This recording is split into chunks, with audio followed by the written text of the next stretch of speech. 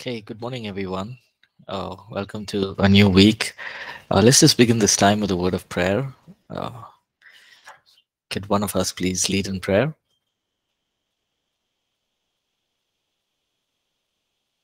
Prabhakar.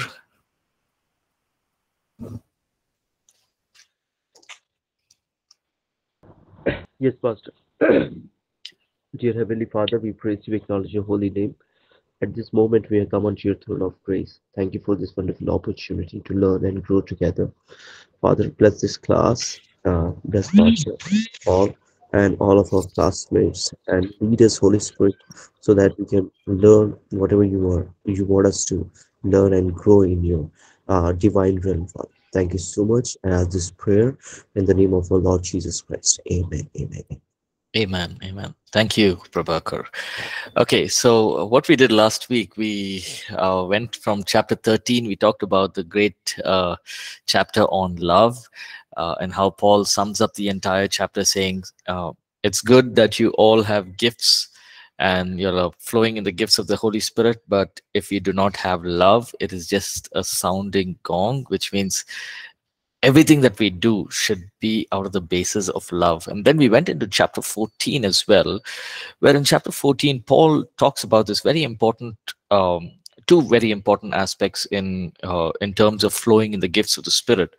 Uh, one was speaking in tongues and interpretation of tongues right uh, so there were people paul says in uh, in many verses he says uh, if, if somebody is speaking in tongues let there be an interpreter why? Because he gives a couple of reasons. He says, one, because uh, when we're speaking in tongues, we're speaking a heavenly language, and not everyone can say amen to it because they don't understand it, right? So if there is an interpreter, go ahead and speak in tongues, right? Uh, and this is mainly what he's talking about is in a uh, public setting, so in a church setting. So Paul is not saying don't speak in tongues because he follows that up by saying that uh, I speak in tongues more than any one of you. But I would rather speak one word of uh, understanding in the church to help uh, the church congregation, right? So he's he's putting the emphasis, right? The gifts of the Holy Spirit is important. Speaking in tongues is important, but in a public setting, uh, if you're speaking in tongues, have an interpreter, right? Uh, and then he also talked about prophecy, the gift of prophecy, right? Uh, we'll talk a little bit more. We're almost to the end of chapter 14. In the gift of prophecy, he says, I desire that everyone prophesy, but when you prophesy, do it in order, right? Uh, don't just prophesy out of the blue or don't just prophesy in an unorderly manner. He says, uh, let there be orderly worship, right? Orderly uh, an orderly service right? So when you're speaking in tongues or when you're when you're prophesying uh, let one person prophesy at one time. And if somebody is you know relating to that prophecy let them acknowledge it and pray uh, for it right? Uh, and so he goes on to that chapter. Right now we have stopped uh, let me just pull up the notes Yes. So we stopped at uh, this order in exercise of spiritual gifts. So we'll continue from here. Uh, so that's from verse 26 onwards. Right. So verse 26, chapter 14, First Corinthians 14, 26 onwards. Right. So let's go on. How's it then, brethren? Whenever you come together, each of you has a psalm, has a teaching, has a tongue, has a revelation, has an interpretation let all things be done for edification. So if anyone speaks in a tongue, let there be two or at the most three, each in turn, and let one interpret. So you see here, Paul is saying, uh, if anyone speaks in a tongue, so maybe the congregation, if there are 10 people, if there are three people who speaks in tongues, give each, let each one of them speak at one time, uh, take a turn, each one of them, and let one person interpret. So you see he's he's going into the minute details on how we should exercise the gifts of the spirit right? Then he says here 28 but if there is no interpreter let him keep silent in church and let him speak to himself and to god right? So he's saying here uh, in church if there is no interpreter it is better you pray with an understanding right? And when you're when in your personal time you pray in the holy spirit pray in the uh, pray in tongues. Verse 29 let two or three prophets speak and let the others judge. But if anyone is revealed to another who sits by let the first keep silent. Sorry but if anything is revealed to another who sits by let the first keep silent. For you can all prophesy one by one that all may learn and all may be encouraged. Right? Now the word here uh, i really like this word. It says that all may learn and be encouraged. Right? So what is paul emphasizing? Two things he's emphasizing. One is all can develop in the gift of prophecy. Two we must learn how to you know release the prophetic word. Right? Uh, and we've said this many times.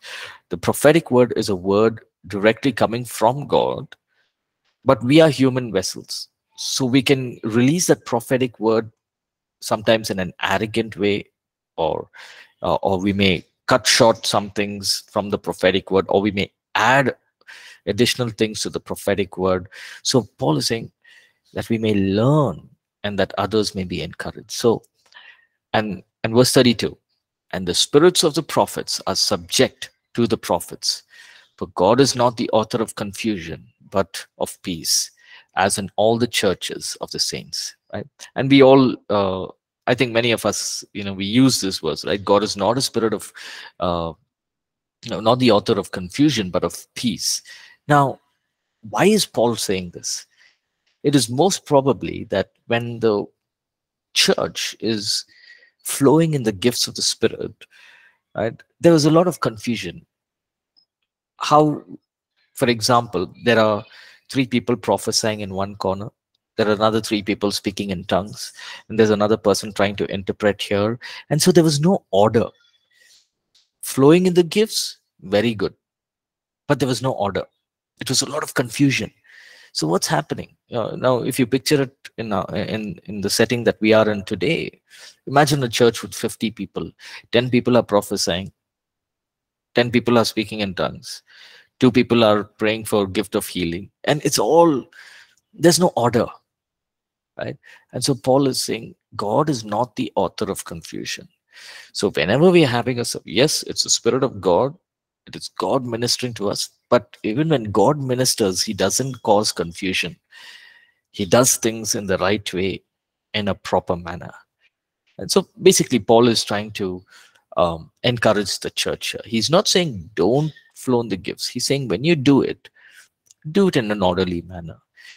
Now for us it's very easy to you know sometimes we may think how why did why didn't the corinthian church just you know take turns and prophesy in order or you know speak in tongues and in an orderly manner?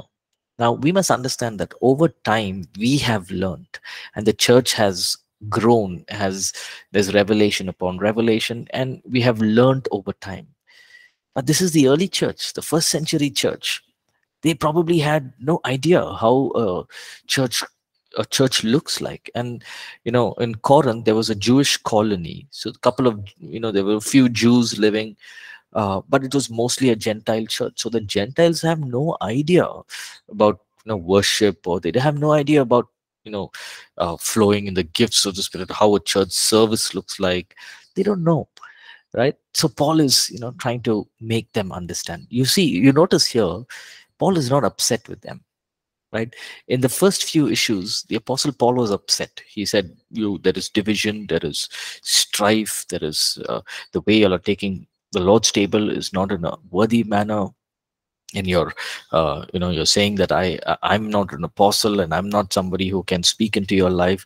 So the first few issues he was very upset with them but here he's being very kind because he understands that they don't know about it. And so he's teaching them right? So let's look at a few points here right? Uh, those speaking in tongues to a congregation let me just highlight that.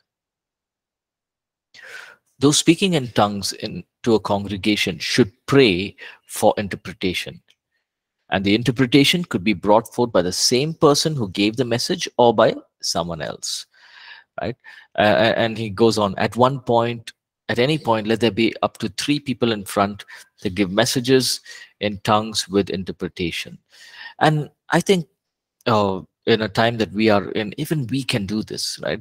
Of course, it's, it's very rare that we see people with the gift of interpretation of tongues, uh, but there are people around us. There could be people around us. And if there is, there are people who are uh, interpreting, give them opportunity, let them interpret let them let because we know that see paul says when i'm praying in the spirit uh, 14 verse 14 he says for if i pray in a tongue my spirit prays prays but my mind is unfruitful. So there's nothing wrong in interpreting and saying hey this is what you've been praying for. You've been praying for our government for our leaders in the government. So it's an encouragement right? And then he talks about prophecy. If there are prophecies being brought into the congregation at any point, let there be three people in front taking turns. One is speaking, others judge. Uh, uh, in a sense, the others keep silent and listen. And this way, all can take the prophecy while others can judge the prophecy. Now, remember, all prophecy must be judged. This means that if anything is wrong, it must be discarded. Okay, let me give you this example why prophecy must be judged, right? Uh, I remember many many years ago, um, you know, I, I, just became a believer, and uh, you know, my mother got me a actually my brother and me. Uh, she got us a bike, right? Uh, and we were very excited. So we had to come to we would come to college together. And one day, this man of God came home, right? And the moment he came home, he's uh, and we were just there at home, and he said he said uh, sell this bike because I see that you are going to meet with an accident and you're going to have a injury and it's going to be a lot of problems. So before this bike gives you any problems or causes you to be in the hospital, better sell this bike. Now, what is the first response that we must have for this? Oh my god god is this bike is a curse is it? I have to go and sell it. What must be the first response? I the first thing i said is i cancel that prophetic that word in jesus name. In front of the pastor right? He must have been a pastor who was about 30 years in ministry but i said i cancel that in jesus name. Because what does the bible say? The bible says i've come to give you life and life in abundance one. And god says when he blesses us he adds no sorrow to it so the, the bike is a blessing from God. Why would he add sorrow to it? And God does not want us to, you know, meet with an accident. That's that's uh, I just rejected it and I discarded that prophecy and I said I cancel it in Jesus' name. I still use that bike, and I've never met with an accident. Right. So all prophecy must be judged. Right. Uh, the spirit of the prophet is subject. This is also very important. Is subject to the prophet. So when we are working with the Holy Spirit, when we are releasing a prophetic word, uh, we have control over when and how to release a prophetic word. Right? For example, many times, uh, you know, we are during the worship time, maybe on a Sunday service, the worship is going on. We may have got a prophetic word, right? But I'm not going and saying, okay, worship leader, stop. I have a prophetic word. So let me release that prophetic word now before I forget. I can't do that. Why? Because I'm I then I'll be disrupting the worship time, the worship the worship leader who's prepared and people are in worship. I can't go in between and say, stop, I've got a prophetic word. Right? I have control. Right? The Holy Spirit has given me the word a prophetic word, maybe for somebody in the church or maybe for uh, the nation, the city, whatever it is. But I have the control, so I can I can wait. I can finish with the worship, finish with the announcements, finish with the preaching of the word of God, and in the end of the service, I can say, you know, this is a prophetic word that I that I have. I just want to release it. Now, how do I how have we done it? In an orderly manner right so there are times uh, we you know early morning we, when we wake up for prayer on sunday so uh, you know in my personal time i've got a prophetic word i knew it is for the church but i didn't go and say okay church has come first let's give the prophetic word no let the service go on. Start the worship, finish with the word, and at the end of the service, I've given the prophetic word. And why? Because we are we are, we are subject to it, right? We are under control, right? So we must know how to release a prophetic word, when to release, and and and you know uh, why to release it, right? And even as we develop, right, it's not like I haven't made mistakes. We all have made mistakes. I personally have made mistakes while releasing prophetic words, but it's good that. Uh, so I learned over time. Okay, so when I release the word, I must be more, uh, you know, uh, more simpler in the way I release the message. Use words and sentences that can help them understand. Give examples through that prophetic word. Give try to give them a, uh, uh, you know, uh, the understanding of that prophetic word that has been released right so paul is saying to the church when you're speaking in tongues when you're flowing in the gift of prophecy do it in an orderly manner then he goes on to talk about women keep silent now earlier in this chapter uh, in chapter 11 paul said that women can pray women can prophesy uh, uh, in in public publicly in public gatherings, in church gatherings. He says that, right? Uh, he says that all, including women, are to walk in love, to walk in spiritual gifts, to prophesy. Everyone, including women, can flow in all the nine gifts of the Spirit. So, what is Paul trying to communicate here when he's saying what he's saying in verse 34 and 35? Let's look at it. Let your women keep silent in the churches, for they are not permitted to speak but they are to be submissive, as the law also says. And if they want to learn something, let them ask their own husbands at home, for it is shameful for women to speak in the church. Now, when you look at this passage and you look at it with one, uh, you know, with one context, just thinking, okay, women should not speak in public gatherings. If you look at it that way, we will interpret this uh, to these two passages in a very wrong way and we can you know make our own uh, dogma or an, our own uh, understanding out of this right? but what is paul trying to say right? Remember the head covering? It was for women who were married. Same thing goes here right? The greek word for woman is gune which is a woman a wife right? So paul is talking specially to married women. He's saying, if you get a prophetic word, right, women, you go back to your husbands, right, ask them, let them ask their husbands at home, right? Now, if it, it had to do with a wife wanting to learn something for which she speaks and asks her husband about the matter, then Paul is saying, see, uh, if you look at this now, in the culture during that time, you had men sitting in one place, women sitting in another place. Okay, so it was a culture. Even in Jewish synagogues, if you see here, you got men in one place, women in the other place, and that custom is still followed in our nation, especially in India, the north of India, right? So we got men and women who sit on two different sides uh, of of in the church, but Paul is trying to bring this picture, right? He's saying, see, woman, wife, if you have a prophetic word, if you have a word uh, and you're not sure about it and you want to ask, first thing, you ask your husband. Don't stand up in the church and say, this is what I want to do. Go, uh, you know, don't, don't, don't, you know, disrupt the service or don't just say things which may not be effective at that moment right so he's saying first check with your husband. See you can discuss the matter together if you want right? That's why in this regard paul is saying a woman you're first submitted to your husband then comes the pastor and the prophet and all of that. First woman a husband husband submitted to the woman right? And so paul is saying in this matter keep silent.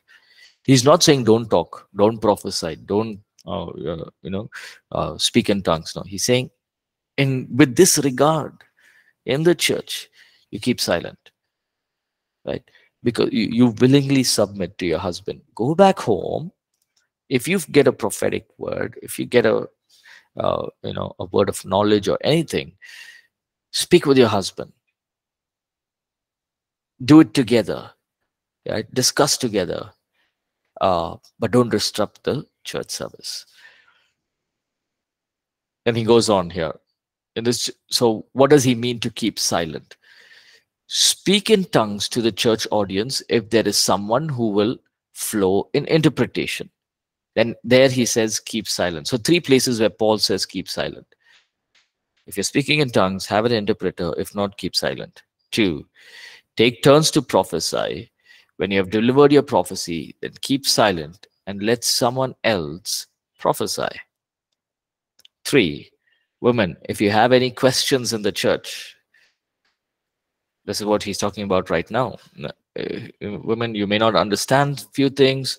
If you have questions, don't uh, you know don't stand up and disrupt the church at that time. Keep silent in church.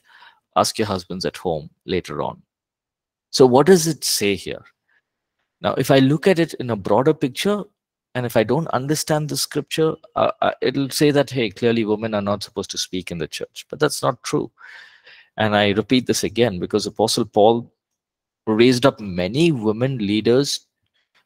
For example, Lydia was was a leader in the church. In I think it was Thessalonica. Right? He was a, she was a leader right? Uh, a, merchant in uh, uh, in cloth merchant, and she was a leader in the church. Aquila and Priscilla. Priscilla again was the leader in the church. Right? So there is there's when we look at it, we must look at it uh, taking into consideration the Greek, taking into consideration the cultural background. So when Paul is saying keep silent, he's saying don't interrupt the church service uh, at that moment, but go back home, submit to your husbands, ask them, and then you can come back. And if, if it's something that your husband says, okay, you can release the prophetic word, uh, maybe you can do that in the following weeks. Right now, how do I put this in the setting that we are in right now? Right now, I can't go home. Maybe women are there in a church, they can't go home and give uh, you know check with their husbands about the prophetic word and then come to church the following. Right? Now we don't have to do that. Why? Because we understand that there must be order in the church. Remember this is the early church. They don't know order in the church. They they are still learning. But now we are in a time and a place where we have learnt over time right? So uh, even if women get a prophetic word if people if the pastor or the preacher's calling they can come forward give a prophetic word but give it in the right way in an orderly manner right? Uh, so we must understand these things right? Uh, this is written to the early church the first century church they're still learning and they're still growing right? And we are in a place where we have uh, you know over time matured as a congregation as a church of Christ, right? So we come to the end, uh, verse 40, he says, Let all things be done. Hold on, let me just read that verse. Let all be let all things be done decently and in order. Right? So all, all the gifts of the Spirit, at all the diversities of tongues, uh, let everything, let everyone be encouraged as believers to flow in it but when you're operating in these gifts, do it, let all things be done decently and in order. Why? Because God is the one who's giving us these gifts. God is not the author of confusion. Right? So we come to the end of this chapter, chapter 14. Uh, any questions? Anyone has any questions regarding this entire chapter? Yes, uh, just hold on.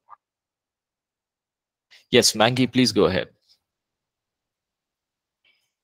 Thank you, Pastor. Um, just a question on uh, just the last part of, of, of chapter 14. Hmm.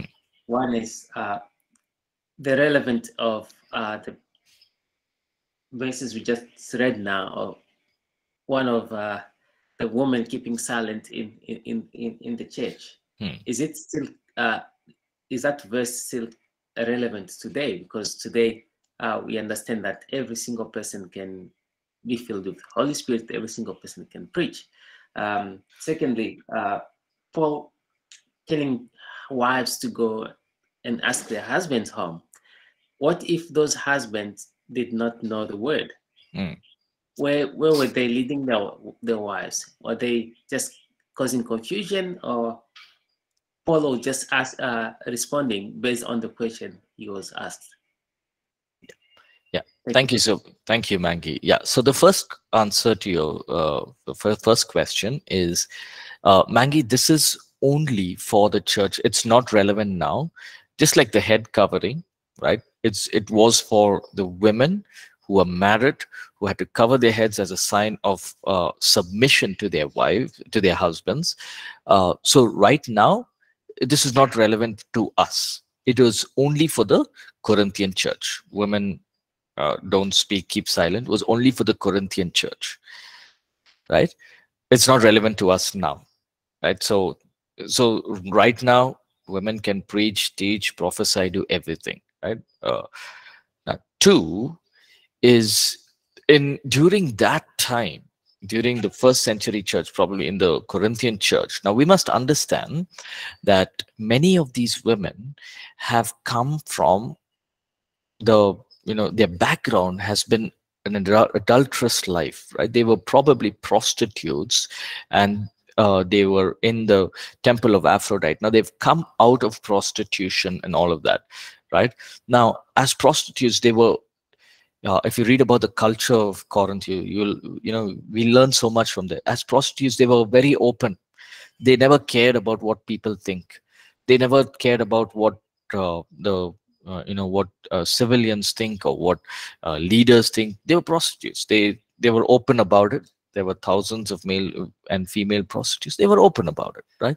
Now, these people, these prostitutes who are more open, more uh, willing to, you know, talk out loud. They they are not shy. They don't uh, they don't feel like okay, I should keep quiet. No, they're very open about their things. Now they have become believers and they've come into the church right now paul says in second corinthians 5.17 if anyone is in christ he's a new creation so what's happened here, Mangi, is in the church, they've these people who are prostitutes living in sexual immorality, they've become believers. Their spirit is new, but their mind has not yet been transformed. Right? So they still feel that they can talk however they want to, behave however they want to, and that they're doing in the church. Right? So Paul is telling them, listen, this is church right? And in church you must submit to your husband first. Now whether the the the husband may not know much of the word of god that's all right. But you're submitting to the husband right? And that was priority for apostle paul right? He's saying wife you submit to the husband. Whether he knows something whether he doesn't know anything whether he's a great person, whether he's just a simple man, you submit to your husband because God has ordained you to submit to your husband.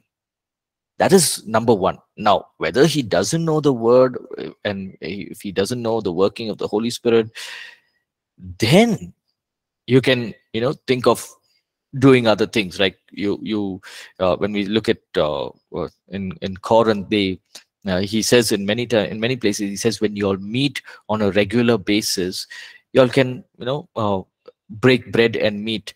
And so what i would say is mangi what is paul trying to say here? He's trying to say that women firstly you you submit to the husband and then you can be submissive to the church as well.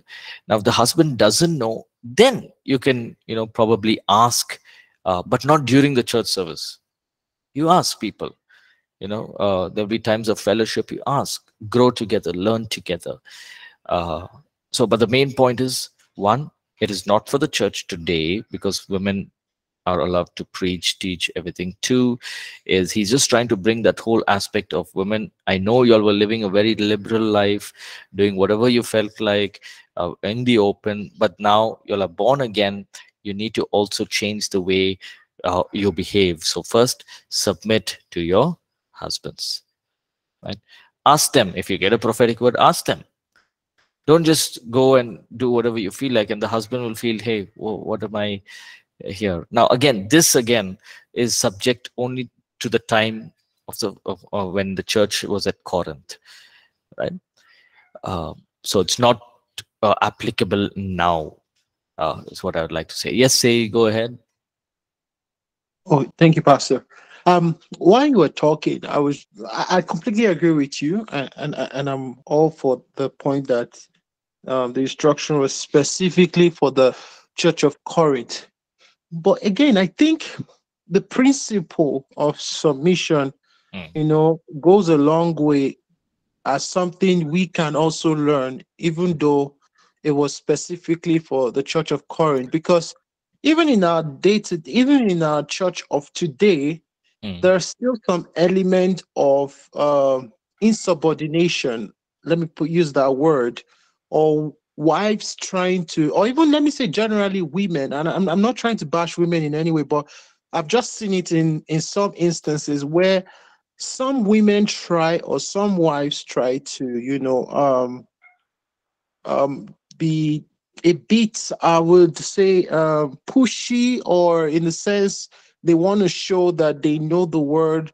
So I think the principles still, still, uh, we can still learn in the sense that you know, um, if a couple don't have or don't agree on something on the word, the church should not be the place where they argue about it. Rather, rather take it home and talk about it and see where they where they're missing it and try to understand. So I think that, that we can still learn the principle yes. of submission, but I agree completely that this was an instruction specifically for the Corinth church. Yes, thank you, thank you so much, Say. Yes, uh, I would like to add that that's that that was very well put, Say. Thank you so much. Say says uh, the act, right? So the act is not something that we follow, but the principle is something that we have to carry. For example, Jesus washed his disciples' feet. We don't have to go around washing people's feet. We don't do the act, but the principle is humility so that's what Say was trying to say. Thank you so much, Say, right? So the act of submission, the act of, you know, uh, uh, women to not preach, uh, but so in terms of you know women and her husband uh, you know her women go home and ask your husband was basically the principle is submission you submit to your husband right, right. that's nice thank you so much uh yes Daisha, please go ahead Hi, Pastor. Hi, everyone. Um, I agree with say, but on a different um side to this, why mm. you find women today somewhat some may say some are rebellious, um, or because they feel they have to defend. Because some persons, even though it was the context of the earlier church, you have some ministers are still using this as a level of control. So you mm. find that the woman now takes up this it's some sort of disrespect, but they have to keep defending themselves. Defend. I have a right to be here. I have a right to be heard. So then you have now the feminists, and mm. you have all these different people calling what they are, and it, it's a constant fight a battle. And some say you know what? I don't need a husband. I don't need a man mm. because he puts me down or whatever which are, are some person they dislike the bible because it seemed to be pointing in that regard. Why a man have to be head over me etc which the the con the principle is not for if the man if you have a man that is godly which is god is the head and then the, husband is supposed to be you know, following God, and then you can submit to Him and not feel it's not mm. a level of control, it's not slavery. And mm. so you feel your voice can be heard respectfully and uh, mm. support mm. you, and you can disagree to agree, etc., and discuss in your own private space. So, but some do not agree, even to this day and that's why you have the yeah. breakaway from marriages etc and it spills over in other areas of society yes yes that's very true Taisha. thank you so much for sharing uh, i would like to add this you know uh, uh in a time that we are in and there are some wonderful women who have started their own ministries and we don't even know who their husbands names right? So they've started their own ministries and they're doing so wonderfully right? Um, blessing the body of christ just just powerful ministries. Uh, but one thing that we always encourage and uh, you know is it's good because when when women take up that whole call of god upon their life and there's a calling they they take it up they do well and they just raise up in the ministry and they raise up leaders they're doing really well in the ministry. But we must always women should must always remember that at home they're not a pastor right? And even men i would say even men right? Men also we we can have the greatest ministry and all of that but at home we are not a pastor we are husband and wife right? And and the women also must understand that however big their ministry is however well they're doing god may be using them very greatly. But your husband may be somebody who's just working a nine to five job. Uh, yet you have to submit to your husband. And why and husbands again you may be a we may be great in our ministry having a great work and god is just using us so powerfully uh, but we must remember that our wife is our helper and we need to uh, you know be together and honor uh, honor them and uh, and so at home it's always husband and wife. It is not pastor and uh, wife or pastor and husband. It, it is not that way. So so that is a distinction that we must learn to draw right? So especially as ministers because we're so used to people calling us pastor people calling us this giving us so much of importance you know we have to go here we have to do this. Uh, and we forget the small things. Hey i've got a home and at my home i'm not a pastor just a husband i'm a father. Uh, or at home i'm not a i'm not a you know a prophetess. I'm just a wife and i will submit to my husband. Um, and i'm just a mother here and so i want so there are two different these are two different places with two different callings. Uh, and so thank you Tesha for sharing that as well. Thank you. Right uh, yes Louis go ahead. Good morning pastor. Good morning everyone. Morning. um just another side track um, I, I, if i can run this story quickly. Um, there's a testimony i heard of a minister that um, um, the anointing, yes, as a pastor in church, he does the prayers, and there's so much testimony in church, but they were struggling at home mm. until the wife recognized the anointing on the hus- on the husband's life at home. Then the anointing began to work for them at home. So where do we bring in that also that balance where we recognize the graces that the spouses carry, but at the same time we have to function as husband and wife.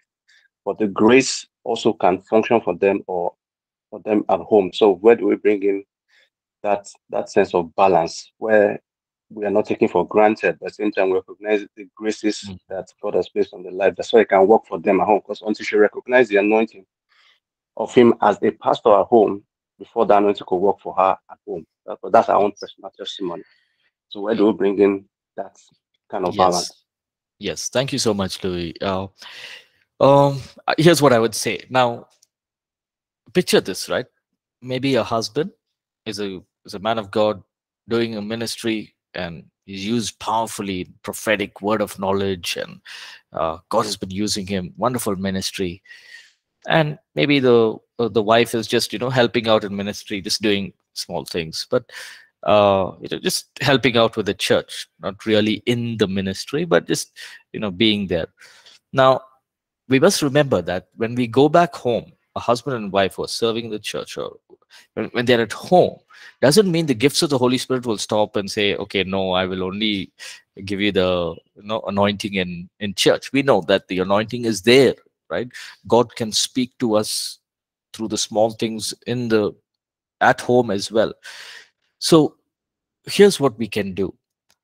Uh, now if i recognize something about my wife i know the grace of god uh, upon you know uh, my wife then what must i do? I must understand that hey she's maybe she's sharing this because you know this is something that god is speaking to her right? So i i should not be in a place where i say okay know leave all of that only in the church right? Yes prophecies word of knowledge all of that we want to have it you know develop that and grow in that and and it sounds nice when it's in the church or blessing the church but god doesn't stop there so we must understand that okay even as god is speaking to us at home i recognize the gifts i recognize the grace that god has right? So for example if if my wife says hey can we uh, pray together for half an hour?